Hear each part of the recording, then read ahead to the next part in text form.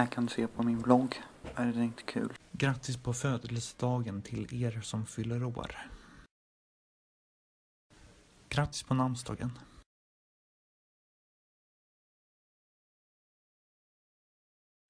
Så här många är det kvar nu.